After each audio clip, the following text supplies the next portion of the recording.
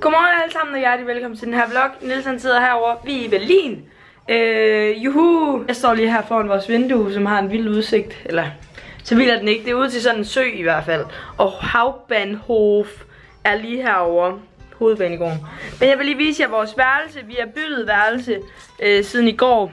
Det kunne man have set på min Snapchat. Jeg ved ikke, hvornår den her kommer ud, så det kan godt være, det er lang tid siden, det var på min Snapchat. Vi har jo lige sovet her, så den er lidt rodet, den her seng. Og så er der sådan noget lys der, det er spejle, det er ret nice øh, om morgenen og, og sådan noget. Og så kommer man så ind i den, når man kommer herindefra, så går man så herind. Ind i sådan en lille stueagtig. Det der, det er en sovesofa, som vi har slået sammen. Fordi vi kun er os. Så har vi den her gang herovre som har et kæmpe spejl. Der har vi badekar fucking optur. Her er så lidt rodet ude og sådan lidt bindpapir. Det er meget nice. Øh, toilet. så min krop er lille, haha-agtigt. Ja, det synes jeg i hvert fald var fucking sjovt. Nå. Men i hvert fald så, så venter vi lige på, min far og øh, hans øh, bedste kammerat, som er dem vi har nede med. Altså den familie, øh, min fars bedste vens familie som er mine gudforældre. Ja, mine gudforældre kan vi lige så godt sige. Øh, og jeg ved faktisk ikke helt, hvad vi skal i dag. Ellers han sidder bare lidt og stener. Hvad ser du på? Facebook. Facebook. Han griner mega tit bare for sig selv, mens han ser alt muligt. Nu er vi sammen med familien. Hej, Jule. Ja. Er det godt? Det er mega. Der er rigtig varmt, faktisk. Butikkerne har lukket i dag, fordi der er søndag. Det er rigtig irriterende, synes jeg. Det glæder vi os til. Hvad skal vi så nu, Jule? Ud og se noget med krig og... vi skal være kulturelle. Vi skal ikke på museum, og det gider jeg ikke. Det skal vi ikke. Nej, mor, det har du Måske lovet. skal vi lave vores egen riddersport. Jeg har. Jeg vil Jeg mega. gider ikke have riddersport. Lige nu der sidder vi på sådan en café, fordi Starbucks er fyldt. Og får iskaffe og morgenmad. Der er sygt mange mennesker. Hvad så, mor? Er den god? Hvad?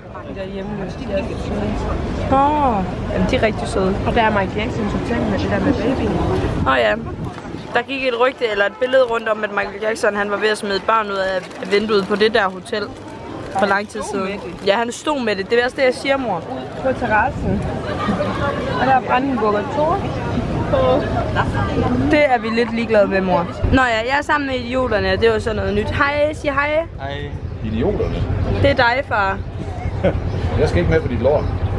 Åh oh, nej, det havde jeg glemt. Jeg skal heller ikke med på noget lort. Men du er med nu. Der er ikke noget at gøre. Det er direkte på YouTube, det her. Folk kan se det nu. Ha ha ha ha. Ej, flot. Farhumor much. Nå, vi sidder her på den her café, som er... Øh, jeg ved sgu ikke, hvor det er. Undtaget den linden. Hvad? Undtaget af linden. Hvad betyder det under linden? Jeg har fået en ginger soda. Hvad har I fået, mænd? Øl? Fy for helvede. Königpilsen. Königpilsner. Og vi sidder og hygger. Det er sådan en, der er swapstips. Jeg... Har vi også dem hjemme i Danmark, far? Med ginger? Det smager mega godt. Det skal jeg til at have derhjemme. Ginger ale hedder det. Hvor har du været? Øh, Madame Tussauds. Hvor har du været? Også Madame Tussauds. Hvem mødte du? Spiderman. Nej, vi skal lige ind og have noget kaffe. Drengene, de får en, øh, en øl med cola. En, en hvad? Hvad hedder det? En diesel. Det er så mærkeligt. Så det er cola med øl. Det er så mærkeligt. Thank you. Prøv at se, hvor pænt den er med appelsin og alt muligt. Hvad? Se, hvad jeg har fået. Lækkert. Nej, det gør hun ikke. Og Niels har fået en pizza med en chili på. 3, 4 chilier. Men den der, den er godt nok stor. Og jeg har fået ginger ale igen. Jeg tror, Og det er meget nice. Ej, det ser godt ud det her. Det er mega lækkert. Men det der, det er smør, der er sådan inde i midten. Det forstår jeg ikke helt. Men Du finder lige ud af det. det er nok et eller andet tysk. Mig og mor har lige været inde i sådan en maskine. Ja. Det er sjovt. Jamen, hvorfor? Altså, vi gav 2 euro for det der. Det er fordi, jeg synes, det er hyggeligt. Ja, ja. Det er ret, ret altså hvidbalancen har de styr på. det vil jeg sige. Nå, men lige nu der er vi på vej hen til det, der hedder Checkpoint Charlie. Som egentlig er hvad, mor? Men det ved jeg sgu egentlig ikke. Nej, det er noget med noget historie i hvert fald, Det er tror jeg. noget med muren jo. Det var jo der Øst- og Vestberlin. Det var det, ikke? Var det det? Det ved jeg jo ikke noget om. Tror jeg. Der er i hvert fald sådan en masse væge her. Jeg synes, jeg har set det her i en Johanne-vlog på et tidspunkt. De er lige derinde, mor. Eller hvad? Er det kun Nils? Har mødt nogen, han kender. Hvem er det? Det ved jeg ikke, han taler med. Ja, det ved jeg sgu da heller ikke. Nej, det ser hyggeligt ud, det der. Mmm, lækkert. Må jeg se, den er den blevet bedre? Lidt. Ah, det ved jeg nu ikke, hvad jeg synes. Det der, det er den der mur. Er det ikke det? Du stod, øh, du tænkte, Nej, det er ikke det, Juliane. Nå, men det er en mur. Det, jeg tror, det er noget Ja, jamen det der, det er, det er hvad hedder den, Berlinermuren? Jamen, jeg troede, den var meget... Hedder den Berlinermuren? Jeg troede, den var meget bredere. Den er mange steder, den var meget, meget... Der er endnu. Ja, der er 43 Er det rigtigt? maraton. Men lige nu der sidder vi herinde i det her Christiania-lignende sted. Hvad? Nej, jeg synes bare, det var sådan lidt Christiania-agtigt. Det er da meget hyggeligt. Jeg elsker Christiania. Skal, Julie, hvem var det, der til i morges? Det var så Hvem var det, der var verdens sureste? Hun var så sur i morges. Helt vildt. Og så går Hun turde råbe. Vi er kommet tilbage til hotellet, og Nils er ved at fylde badekarret op, fordi han vil i badekar. Jeg ved ikke lige, klokken den er 5 eller sådan noget, tror jeg. Jeg kigger lige på min selfie. Klokken er nemlig lige nøjagtigt 5, og vi er kommet hjem og har det mega varmt. Der er psyko meget... Øh... Hvad? Så luk sgu da døren. Nå, men i hvert fald så er der pisse varmt udenfor. Og der er, der er sådan gennemsigtigt derinde. Så jeg kan sidde og kigge på ham, hvad jeg kappet ret behageligt. Eller noget. Nu har mine forældre rykket værelse igen. Det her, det er sgu da okay. Så nu er de her, fordi de vil have et bord.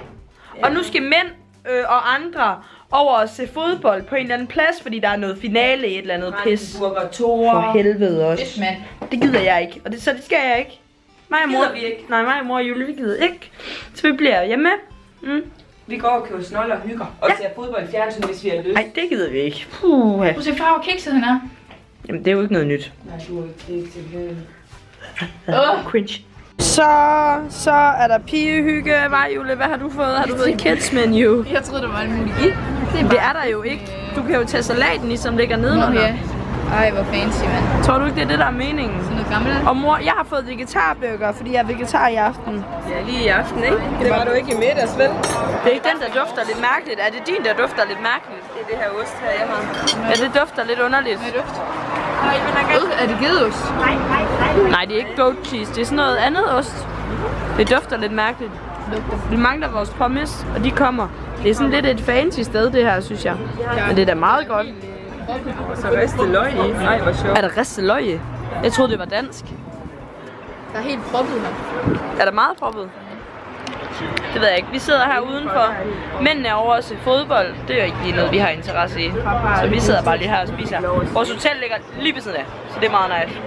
Så nu er tøserne på vej over og øh, shoppe over i Hauptbahnhof. Det er hovedbanegården. Det er det eneste tysk ord, du Det er det eneste. Nej, jeg kan også godt filen og danke og sådan noget. Filen dank. Det der, der er også Mange tak. Nå, okay, det er også det. Hauptbahnhof. Jeg kan også lige finde, et- jeg kan lige finde et skilt, hvor jeg kan læse noget på. Er Ja, Wasser, den er god. Og nein og nicht. Ich bin böse und knallt mit dem Tür. Ich bin böse. Jeg er sur og und smækker med knallen with die Tür. Og det betyder sikkert... Øh... Jeg er sur og smækker med det. Nå, okay, men det lyder bare som noget helt andet, og det er kun derfor, mor kan. Hvor man siger, det er for fanden. Det er ikke sjovt, mor. Jeg har lige mødt en fan forresten. Meget hygge. Hun var sød. er rigtig sød pige. Ja, hun var sød. Men man er jo på ferie. Men hun fik lige et billede, og det var rigtig godt. Men nu skal vi ind og shoppe ind i Hauptbahnhof. Den er her. Kæmpe stor. Hauptbahnhof. Wow, der er mega mange biler her. Det ligner... Jeg står altså Der et ude med den Der er et arm. skilt derovre. Jamen, det ligner ikke lige frem... Øh... Jamen, der står ikke rigtig noget på. Det ligner ikke lige frem den, vi har i København derhjemme. Det her, det er så Hauptbahnhof i Berlin.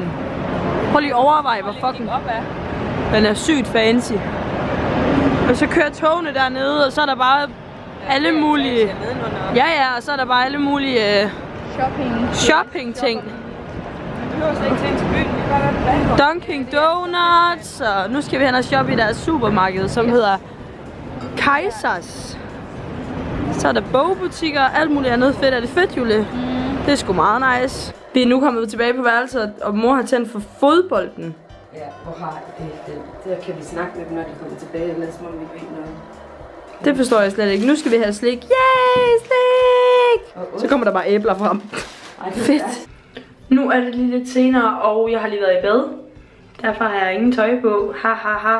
Jeg er på vej i seng. Men uh, tusind tak, fordi I har med i den her vlog. Det er jeg super, super glad for. I morgen der skal vi shoppe, fordi der har butikkerne åbent, der søndag i dag, så der har ikke været åbent mega nederen. Men tusind tak, fordi I set med i dag. Og så er der jeg tilbage og sige, at vi selvfølgelig ses igen meget snart.